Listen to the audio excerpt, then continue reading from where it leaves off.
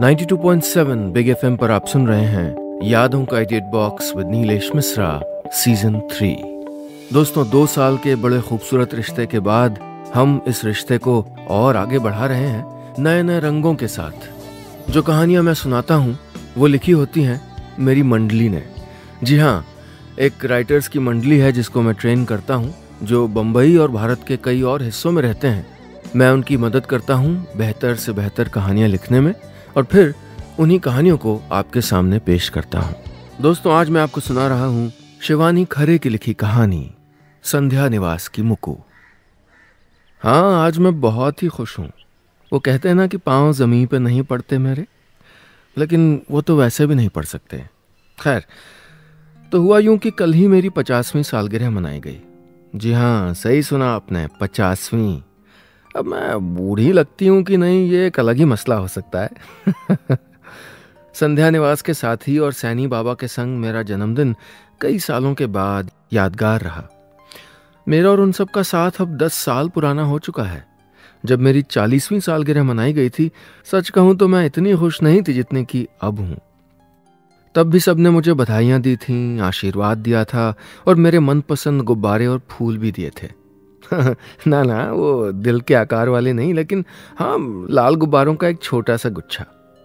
हाँ माँ ने अपनी डायरी में मेरी पसंद, नापसंद, मेरी आदतों, मेरे स्वभाव, मेरे इशारों वाली भाषा के बारे में विस्तार से लिख के बताया था, जिससे मुझको कहीं दिक्कत न हो और मुझको समझने में औरों को। तब मुझे यहाँ आए कुछ ही महीने हुए थे और सबसे ठीक से घुल मिल भी नहीं पाई थी और मन भी बहुत उदास रहा करता था। अपना परिवार और अपने लोगों की बहुत याद आती थी। रह रहकर सबके साथ बीते खुशनुमा दिन बहुत रुलाते थे। और कुछ साल पहले माँ बाबा के साथ मनाई आखिरी सालगिरह की याद दिल में ताज़ा थी। उस बार हम लोग दिल्ली के व्यापार मेले में गए थे और खूब मज़ा किया था। वहाँ अलग अलग प्रांतों के स्टॉल और उनकी सजावट निहारना बहुत अच्छा लगा था। उन्हें देख देख के मैं हाथों से इशारे करके बताती रही कि हाँ इस वाले प्रदेश की तो सैर करके आए पिछले बार। और खूब उत्साहित होती रही। फिर हर प्रांत का खास व्यंजन भी लगे हाथ चख लिया था और पिछली यादें ताज़ा कर ली थी। रंगीन कपड़ों में सजे धजे उल्लास से भरपूर चेहरों की वो भीड़ मुझे आज भी याद है। मुझे तरह तरह के झूले देखना बहुत अच्छा लगता है। सिर्फ़ देखना, चढ़ने के नाम से ही डर लगने लगता है ना? और उसके बाद बाबा मुझे पास के ही अप्पू घर भी लेके गए थे, जहाँ मैंने इतनी तरह के झूले एक साथ पहली बार देखे थे। क्या क्या तो नाम थे? Roller coaster, Columbus, water special, giant wheel, वगैरह वगैरह। तो मैं मुकू। अब पचास साल की हो चुकी मुकू। अपना पूरा नाम बताऊँ? मुक्ता। हाँ बाबा माँ ने मुझको मुक्ता नाम तो दिया, लेकिन प्यार से पुकारा मुकू, और फिर सबके लिए ही मैं मुकू बन गई। अरे हाँ लेकिन नहीं जानती कि इनमें लोगों का प्यार शामिल हुआ कि नहीं। अब मेरे माँ बाबा इस दुनिया से जा चुके हैं। जब वो थे तो उनके साथ खूब मज़े किए। अब वो दोनों ऊपर भगवान जी के पास छुट्टियाँ बिता रहे हैं, मज़े कर रहे हैं, और मैं यहाँ धरती पर। हाँ और क्या? छुट्टियाँ ही तो बिता रही हूँ। अब अपने इस जन्म में काम करने का कोटा मैंने भरवाया ही नहीं। 92.7 बिग एफएम पर आप सुन रहे हैं यादों का idiot box with Neelesh Misra season three दोस्तों, आज मैं आपको सुना रहा हूँ अपनी मंडली की सदस्य शिवानी खरे की लिखी कहानी, संध्या निवास की मुकु। आज की कहानी में अब तक आपने सुना कि मुकु की कल ही संध्या निवास में पचासवीं सालगिरह मनाई गई। मुकू के माँ बाबा नहीं हैं और उन्हें संध्या निवास में रहते हुए दस साल हो रहे हैं। उनके लिए ज़िंदगी जैसे छुट्टी है और सारा जीवन सैर सपाटा। अब आगे। तो मैं, मुकू और मेरी दुनिया संध्या निवास तक सीमित। अब है, लेकिन हमेशा से नहीं थी। बाबा माँ से कहा करते, हम लोग जब तक हैं, इसको दुनिया दिखा दें, फिर पता नहीं क्या हो। तो मैंने पूरा भारत घूमा देखा हुआ है। और जब भी टीवी अखबार या किसी पत्रिका में, किसी जगह के बारे में पढ़ती या वहाँ की तस्वीर देखती हूँ तो झट से पहचान जाती हूँ। और उंगली से इशारा कर करके बताती हूँ कि देखो यहाँ मैं यहाँ घूम के आई हूँ। मैंने अब तक अपने परिवार के बारे में नहीं बताया ना।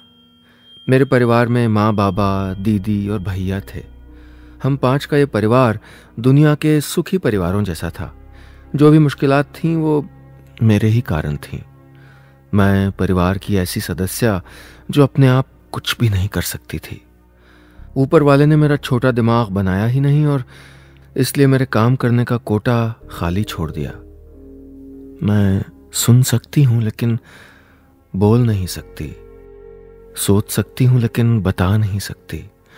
नाचते गाते लोगों को देख के खुश हो सकती हूँ लेकिन गुनगुना नहीं सकती, ठुमक नहीं सकती। मैं पूरी तरह दूसरों पर निर्भर जो हूँ। माँ ने एक बार बताया था कि पैदा होते ही मैं रोई नहीं थी। डिलीवरी रूम में बाल रोग विशेषज्ञ ने मेरा चेकअप किया था। बड़ी मुश्किलों से मैं रोई थी। वो रोना न जाने किस पे था, लेकिन कहीं गड़बड़ हो चुकी थी। मैं सामान्य सी दिखती, लेकिन सामान्य थी नहीं। मेरे हाथ पैर एक आम नवजात शिशु के जैसे नहीं चलते थे। कुछ ही दिनों में यह समझ में आ गया था कि मुझको कोई गंभीर समस्या है, क्योंकि मेरे लगभग सारे अंग लुंज पुंज से थे। उनमें कोई ताकत नहीं थी। बड़ा ही मुश्किल दौर था वो मेरे परिवार का। मैंने कभी अपना हाथ या पैर नहीं हिलाया। सर भी एक और ढलका रहता था। सबको तो पहले पहल यही लगा कि रीढ़ की हड्डी में कोई समस्या होगी। मगर समय बीतते बीतते कई सारे टेस्ट करवाते करवाते जो पता चला उसने सब कुछ बदल के रख दिया। माँ ने गहरी सांस लेके आगे बताया था, चूँकि मेरा छोटा दिमाग नहीं बना था, इसलिए उससे संबंधित कोई भी काम करने में मैं हमेशा असमर्थ रहने वाली थी। जब बच्चा पहला कदम रखता है तो लोग कितना खुश होते हैं। वो खुशी अचानक मेरे परिवार से छिन गई थी। बच्चों के पैरों में लोग पायल पहनाते हैं, जबकि माँ बाबा को मेरे लिए व्हील चेयर लानी पड़ी थी। लेकिन फिर भी उन्होंने इसको ईश्वर की देन समझ के स्वीकार कर लिया था और मेरे दीदी भैया को भी यही समझाने की चेष्टा की थी। जब वो ना समझते तो सब समझते रहे और जब समझदार हुए तो ना समझी कर बैठे।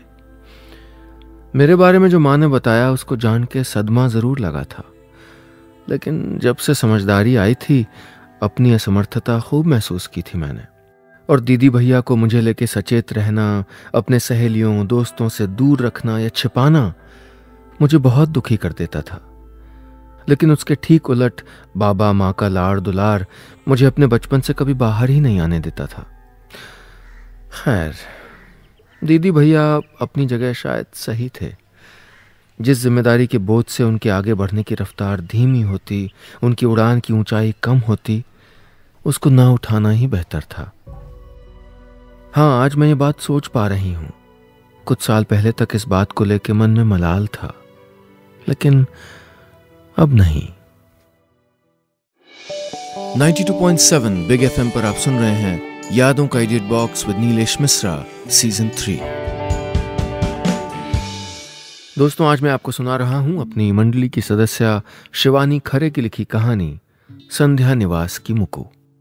आज की कहानी में अब तक आपने सुना कि मुकु, जिसके लिए ज़िंदगी किसी छुट्टी जैसी है, उसे अपनी माँ का बताया वो याद आता है कि उसका छोटा दिमाग ही नहीं बना और इसलिए वो पूरी तरह दूसरों पर निर्भर है।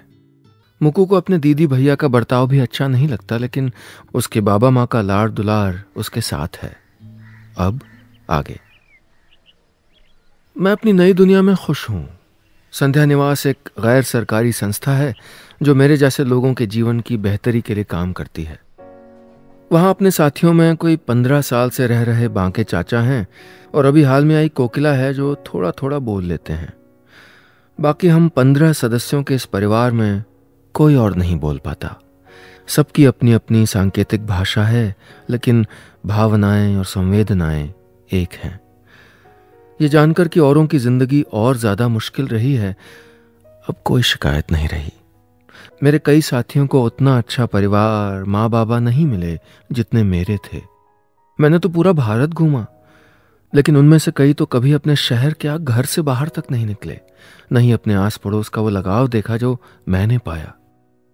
पहले के दिनों में माँ बाबा मुझको साथ लेके घर से जब बाहर निकलते तो मोहल्ले भर के लोगों का जमघट लग जाता था। हर किसी से दुआ सलाम, हर किसी से हालचाल पूछना, बताना। मुझे यह सब बहुत रास आता था। मंगला चाची, बीनू चाची, पद्मा काकी और फिर प्रकाश चाचा, पुरोहित बाबा और डॉक्टर चाचा का मिलना, बतियाना किसी बोनस से कम नहीं होता था। उस पर मोहल्ले के हम उम्र और बच्चे भी भागते हुए आते थे। सभी की प्यारी थी मैं और मैं भी बड़े जोश से हिल हिल के हर किसी को इशारों से हर बात समझाती। कभी किसी के बालों की ओर इशारा करती तो वो बताता हाँ कल ही नए कट करवाएँ, कैसे लगे? और फिर मैं हिलडुल के अंगूठा थोड़ा सीधा करके बताती कि, बढ़िया है।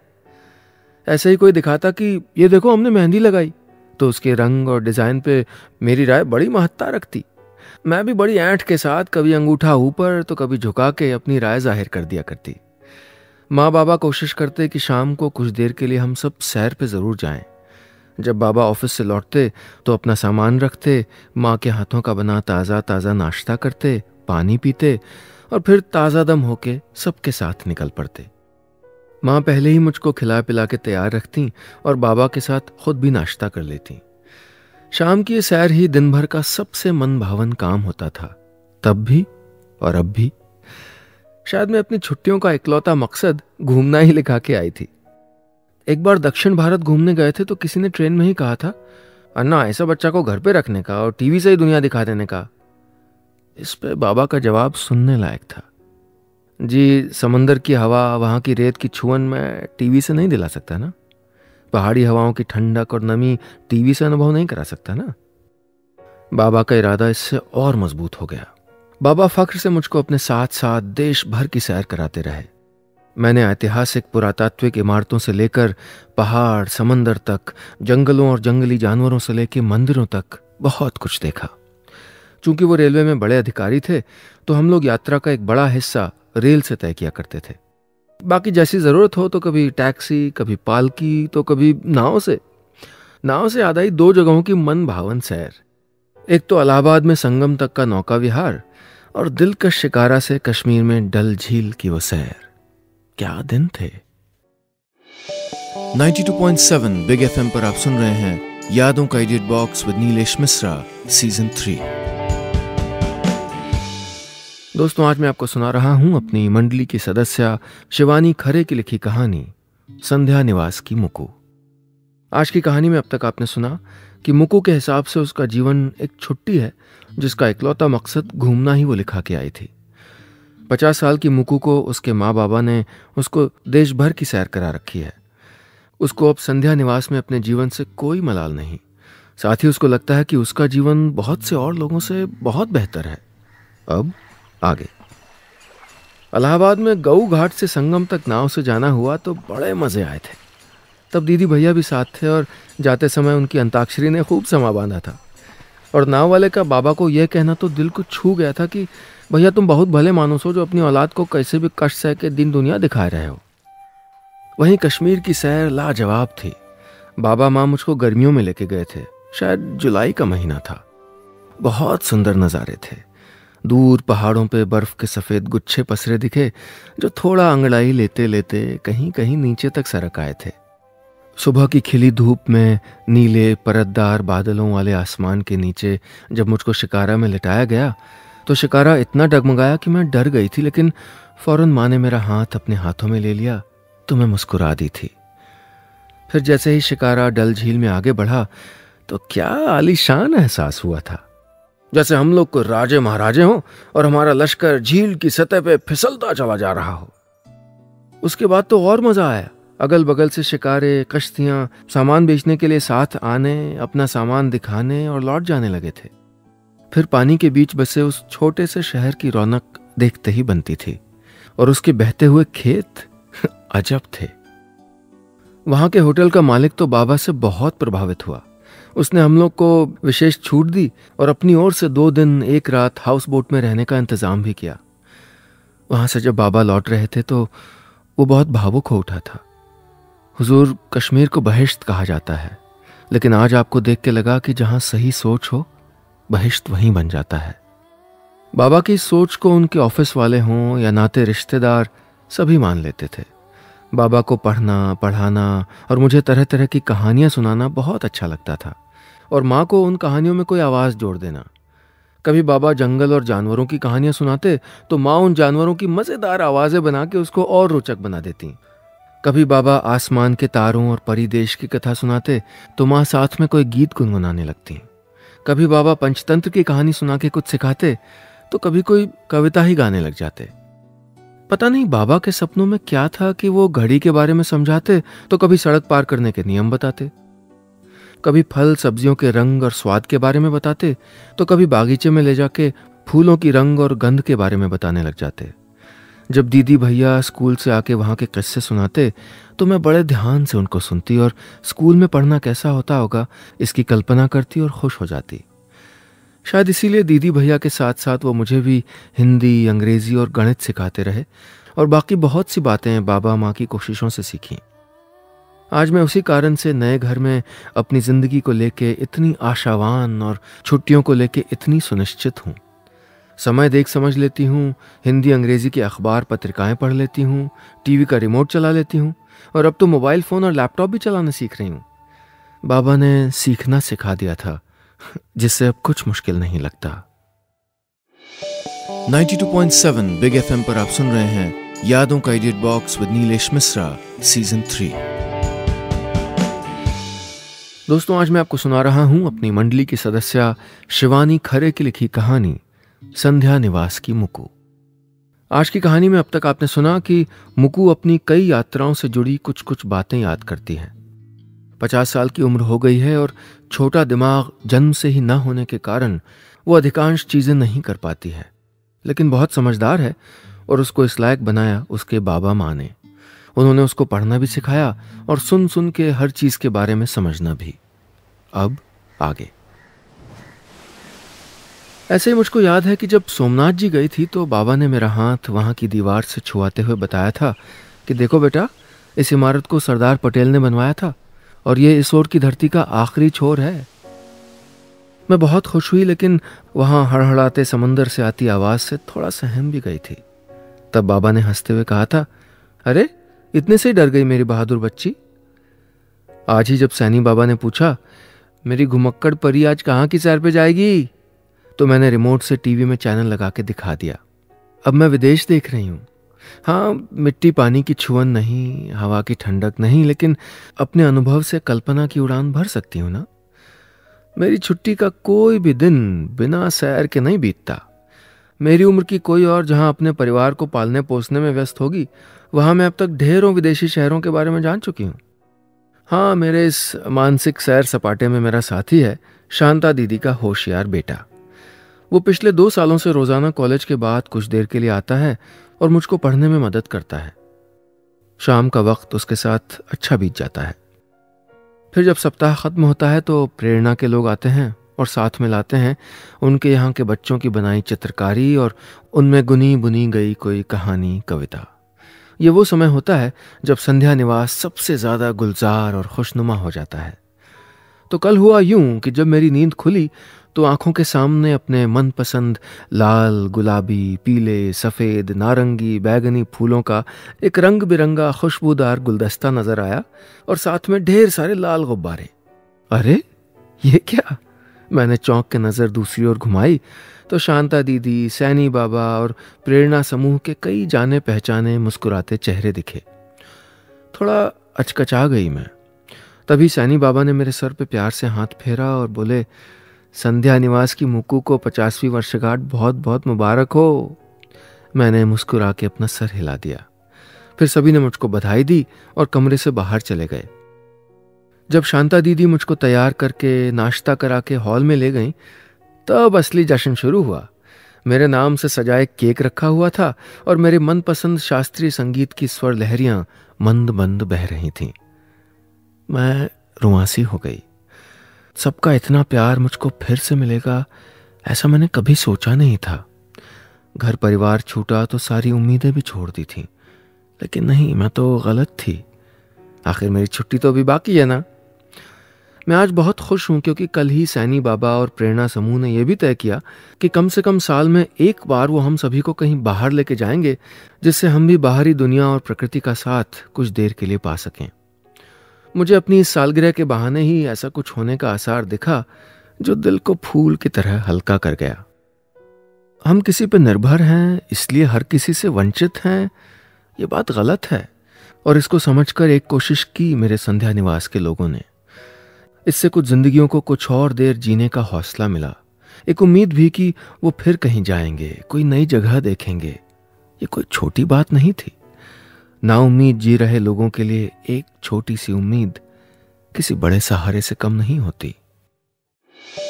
92.7 बिग एफएम पर आप सुन रहे हैं यादों का idiot box with Neelesh Misra season three दोस्तों आज मैं आपको सुना रहा हूँ अपनी मंडली की सदस्य शिवानी खरे की लिखी कहानी संध्या निवास की मुकु। आज की कहानी में अब तक आपने सुना कि 50 साल की मुकु का जन्म ही बिना छोटे दिमाग के साथ हुआ। इसके कारण वो अधिकांश कार्य नहीं कर पाती हैं। लेकिन उनका कोई भी दिन सैर के बिना पूरा नहीं होता और अब वो विदेशों की सैर भी कर रही हैं टीवी पे। मुकु की पचासवीं सालगिरह पे संध्या निवास के लोग गर्मजोशी से उनको बधाई और आशीर्वाद देते हैं। अब आगे। बाबा माँ ने इस दिन के लिए एक विशेष चिट्ठी भी लिख के मेरे लिए दी हुई थी। प्यारी दुलारी मुकु को पचासवीं सालगिरह पे ढेर सारा आशीष। आज का दिन तुम्हारे जीवन का एक यादगार दिन बने। इसलिए तुमको आज पिकनिक पे ले जाएँगे तुम्हारे संध्या निवास के साथ। ही इसके लिए मैंने उनको पहले से बताया हुआ था। बेटा, तुमको आज पास के उस मधुबन में ले जाएँगे जहाँ तुमको सबसे अच्छा लगा था। क्योंकि इस जंगल में तुम्हारे मनपसंद पक्षी, मोर खूब सारे हैं, जो पग पग पे डोलते, नाचते चलते हैं। तो जाओ और उस ताजगी से अपने जीवन को फिर सराबोर कर लो और हमेशा खिलखिलाती, मुस्कुराती रहो। जैसे हमारे सामने रहा करती थी। हमारी लाडली को फिर से ढेर सारा आशीर्वाद। ये चिट्ठी सैनी बाबा ने पढ़ी। सभी की आँखें नम हो गईं। इसके साथ ही विदेश से मेरी डॉक्टर दीदी और बॉम्बे से भैया का आया ईमेल भी मुझको पढ़ के सुनाया गया। ये दिन जैसे मेरा होना सार्थक कर गया और संध्या निवास के सभी साथियों को एक उपहार दे गया। एक बार फिर माँ बाबा ने अपने जाने के बाद भी मुझको सैर करवाई। मेरे बहाने बाकी साथियों को भी उस सुंदरता का साथ मिला, जिस पे उनका बराबरी से हक तो है, लेकिन कोई मानता नहीं। इसके लिए प्रेरणा समूह के कार्यकर्ताओं का सहयोग लिया गया और हमें लाने, ले जाने के लिए विशेष गाड़ियों का भी। लेकिन जब वहाँ पहुँचे तो मेरी क्या बाकी साथियों की भी खुशी का कोई ठिकाना नहीं रहा। बाकी चाचा तो रो ही पड़े। अटक अटक के बस इतना बताया, कभी कोई घुमाया नहीं। वो पहली बार कहीं घूमने आए थे। सच है, कहाँ सोच पाती है दुनिया हर किसी के लिए? तभी मेरे मनपसंद मोर दिखने लगे। इनकी चाल और थिरकन का क्या कहना? इनके पंख तो और भी खूबसूरत होते हैं। कितनी रंगीन छटा बिखेरते हैं ना? फिर इनकी आवाज़ भी कितनी दिलकश होती है। मुझे मोरों को देखना बहुत अच्छा लगता है। इनके साथ कई यादें जुड़ी हैं। मुझे याद आया कि एक बार बाबा मेरे लिए मोर पालने तक की सोचने लगे थे, लेकिन कभी मोर का बच्चा हाथ ही नहीं आया। या यूँ कहूँ कि मुझे देख के डर के भाग खड़ा होता था। मुझे तो दूर से निहारना भी बहुत सुख देता था। माँ भी हमेशा मेरे लिए मोर पंखी रंग के कपड़े ज़रूर सिलवाती थी। मेरी मोर दीवानगी तो जग ज़ाहिर थी और कल मैं फिर इन्हीं मोरों के बीच थी। मधुबन की ताज़ी हवा ने जैसे ही मेरे चेहरे को छुआ तो ऐसा लगा कि माँ ने मुझको लाड़ से सहलाया हो। मेरे रोंगटे खड़े हो गए। ऐसा लगा जैसे माँ, बाबा यहीं मेरे पास हैं। मेरी आँखें नम हो गईं और मैं अपनी पिछली यात्रा याद करने लगी। तब बाबा माँ मेरे साथ थे और उन्होंने यहाँ मुझको एक पेड़ के पास चादर बिछा के लिटाया और ऊपर से एक शॉल उड़ा दिया था। तब सितंबर का महीना ख़त्म होने पे था। हल्की हल्की ठंडक हवा में पसरी हुई थी और बारिश के बाद सारा जंगल अपनी हरियाली, छटा, इतरा इतरा के बिखेर रहा था और हवा के हर झोंके के साथ एक बिल्कुल नई और ताज़ी खुशबू लहरा जाती थी। हम लोग उस दिन जंगल में शाम तक रहे और बाबा माँ ने मुझको तभी संध्या निवास के बारे में बताया था। बाबा ने ही बात शुरू की। बेटा, संध्या निवास नाम की एक संस्था है। ये उन विशेष बच्चों की देखभाल करती है जिनके परिवार या माता पिता नहीं होते। हम लोग कई सालों से उनको आर्थिक सहयोग देते आ रहे हैं। उन्हीं को अब तुम्हारी देखभाल की ज़िम्मेदारी दे दी है। और आगे बात माँ ने पूरी की। हम लोगों के जाने के बाद तुमको कोई दिक्कत नहीं आ पाएगी। मैंने चुपचाप उनकी बातें सुन ली थी। उसके बाद उन्होंने मेरे मनपसंद गीत गा के सुनाए। कहते ना कि कहीं कहीं हुई बातें, आवाज़ें कभी फिजाओं से हटती नहीं हैं। कल मुझे यही लगा कि उनकी आवाज़ मुझको रह रह के सुनाई पड़ रही थी। ये माँ की आवाज़ थी। नन्ही सी परी मेरी लाडली मेरी लाडली। उसके बाद मेरे घर आई एक नन्ही परी और तभी कहीं दूर से बाबा की आवाज़ सुनाई दी। डैडी तेरे जागे, तू सो जा रे। खूबसूरत था ना मेरा किस्सा। ये एक मुकु और संध्या निवास के साथ बुनी कहानी है, जो किसी और की भी हो सकती है, जो हर किसी की हो सकती है। इसके लिए बस सोच को विस्तार देने और अपने होने को नए मायने देने की कोशिश भर दरकार है। फ़िलहाल मेरी छुट्टी जारी है और मैं खुद एक नए सफ़र की तैयारी में हूँ। बस इतनी सी थी ये कहानी।